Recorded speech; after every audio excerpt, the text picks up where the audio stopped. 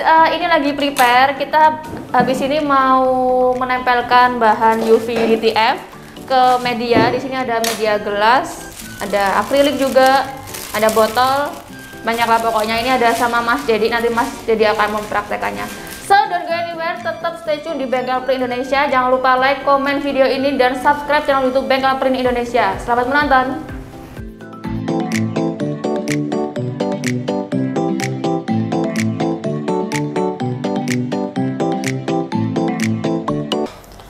Halo teman-teman, kali ini uh, saya mau coba untuk pasang hasil DTF UV.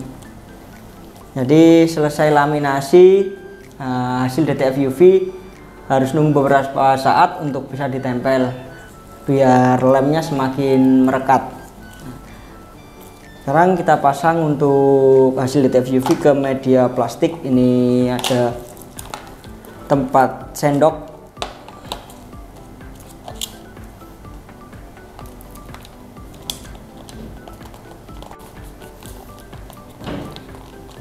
ini setelah tertempel seperti ini untuk ngelepas laminasinya ini kita nunggu beberapa saat kurang lebih 10 menit. Semakin lama kita ngelepasnya akan semakin kuat nanti hasilnya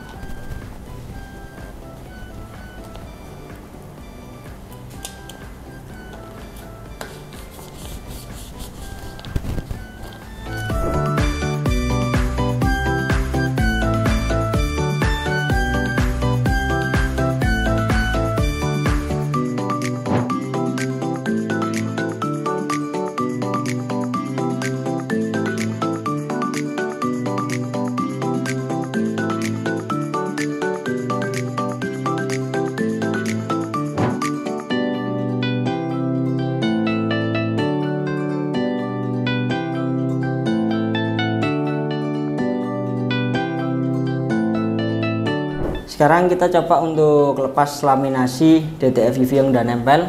Jadi untuk pelepasan laminasi eh, lebih baik atau untuk hasil yang lebih bagus lebih kuat eh, nunggu kurang lebih 10 menit. Semakin lama eh, nunggu untuk lepasnya hasil semakin kuat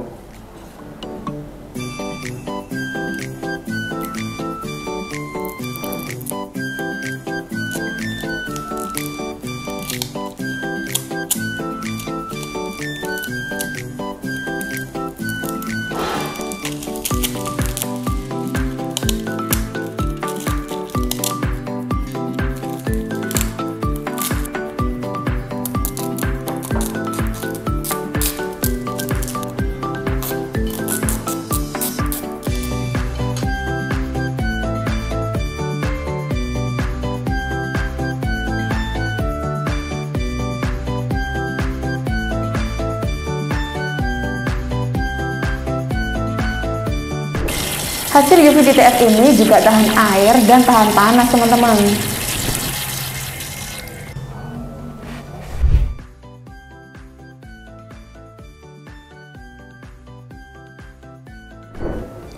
So guys, ini adalah hasil dari uh, UV DTF. Di sini ada gelas, ada casing, terus juga ada ini tempat sendok sendok sumpit ya, sendok garpu sumpit kayak gini.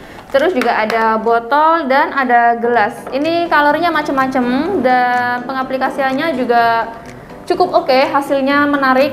Ini juga warnanya keluar semuanya. Oke, semoga membantu. Jangan lupa kalau teman-teman pengen tahu info ini lebih lanjut, kalian bisa hubungi admin kami yang ada di nomor di bawah sini. Untuk mesin-mesinnya update apa pun itu kalian juga bisa uh, di website kami di www.bengkelprint.co.id. Jangan lupa untuk like, komen, dan subscribe. Dan terima kasih dan nantikan terus video-video kami selanjutnya. Sampai jumpa. Bengkel Print Indonesia. Solusi jitu UMKM maju.